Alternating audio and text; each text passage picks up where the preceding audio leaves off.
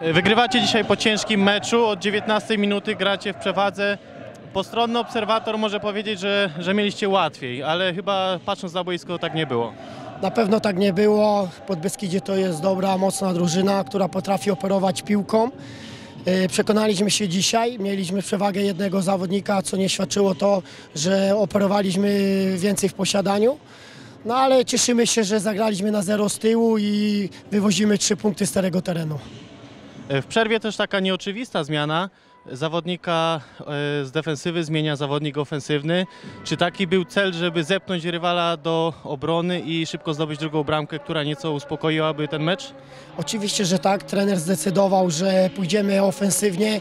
Mieliśmy dobry wynik dla nas, przewagę jednego zawodnika, co mieliśmy tutaj bronić. Po prostu przyszliśmy tutaj, żeby szczelić jeszcze drugą bramkę. Niestety nie udało się, ale cieszymy się, że wygraliśmy i wracamy szczęśliwie do Sącza.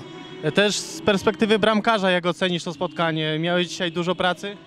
Tak, przyznaję, że dzisiaj było sporo pracy. Cieszę się, że defensywa zagrała na zero po takim, e, można powiedzieć, słabym meczu w Legnicy. Mówię, e, to buduje przede wszystkim zespół. E, Jak nie tracimy bramek, a zawsze coś z przodu ukujemy, także patrzymy do przodu, jedziemy na 100 mil teraz. Dzięki i powodzenia dalej.